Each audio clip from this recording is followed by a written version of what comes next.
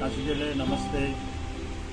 Welcome to grand group blog दोस्तों, आज मैं बनाने जा रहा हूँ वेजिटेबल मंचूरिया वेजिटेबल मंचूरिया कैसा बनाया जाता है, मैं आपको दिखाने वाला हूँ। सबसे पहले लीजिए कैबेज कैबेज को कद्दूकस करना है। आप ग्रेटर में कद्दूकस कर सकते हैं इस तरह से। बहुत आसानी होता है इसमें करने कद्दूकस। देखिए, ऐसा होता है दोस्तों। अब कैरेट की बारी है आप इसमें कॉलीफ्लावर भी डाल सकते हैं।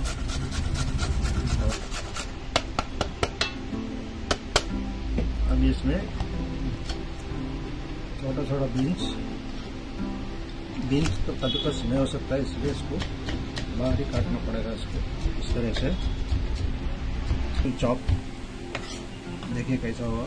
अब इसको मिक्स करेंगे इसमें। इसको मिक्स करेंगे। इसमें थोड़ा सा नमक डाल के, थोड़ा सा नमक डाल के एक पाँच मिनट के लिए रेस्ट करेंगे। नमक डालने के बाद में, पाँच मिनट के बाद में पानी, इसमें पानी छोड़ता है कैरेट सब्ज़ी तो इसको पानी छोड़ के, पानी निचर के उसको बनाने। देखिए इसमें कितना निकला। इसको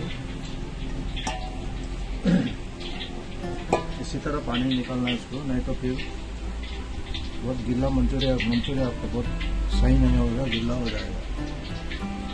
अब इसमें हम पनीर ग्रेट करेंगे।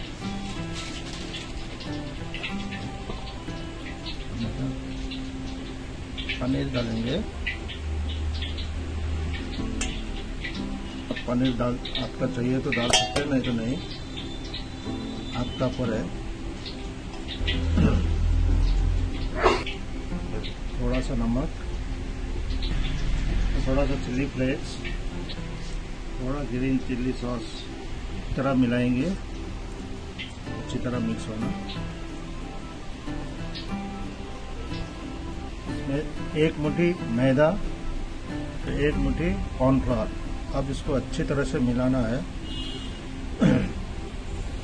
देखिए इस तरह।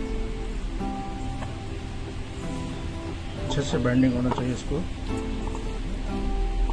तो रे, तो रेडी हो गया डो अब इसको राउंड शेप देना है एक एक बॉल्स की तरह। देखिए आपका मर्ज़ी है साइज़ बड़ा भी कर सकते हैं छोटा भी कर सकते हैं। मैं मीडियम साइज़ रख रहा हूँ। इस तरह। तो इस तरह बॉल बनाना चाहिए देखिए इस तरह। सब बॉल बन के रेडी तैयार है। आप फ्राई के लिए फ्राई के लिए तैयार है अब फ्राई करेंगे इसको।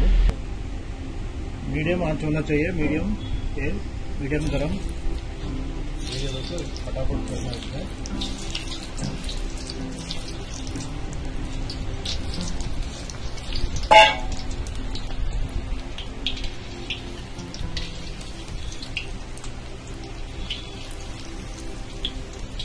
तो दोस्तों देखो फ्राई होके रेडी है मंचूरिया फ्राई हो अब कैसा मालूम पड़ेगा आपको।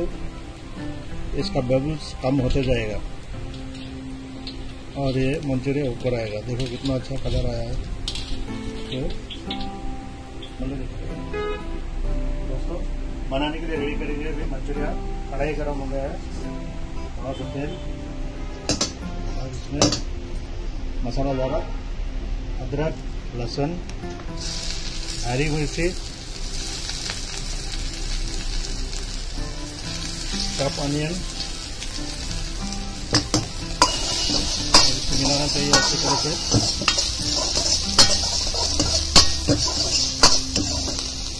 और कैप्सिकम रेड कैप्सिकम और ग्रीन कैप्सिकम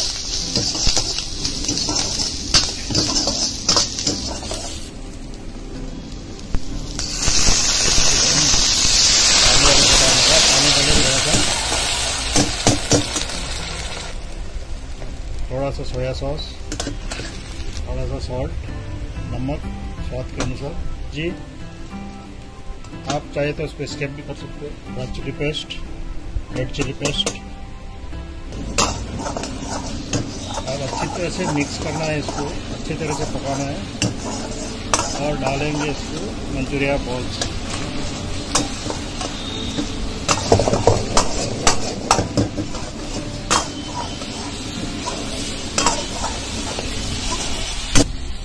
थोड़ा सा विनेगर कॉर्नफ्लावर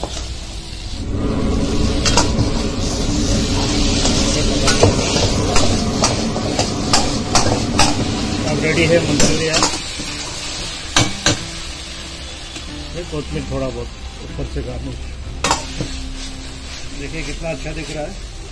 करेंगे।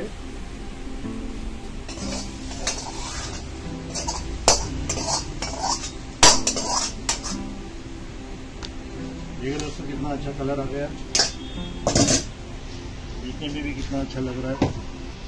ये देखिए दोस्तों, कितना सॉफ्ट है एकदम नरम। देखिए।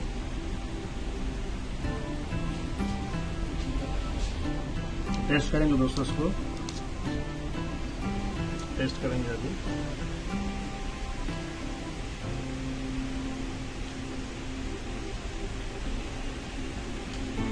बहुत अच्छा होगा दोस्तों आप भी ट्राई करिए। ट्राई करके बताइएगा कैसा लगा आपको।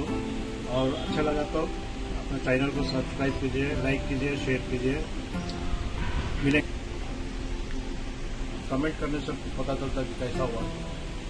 Thank you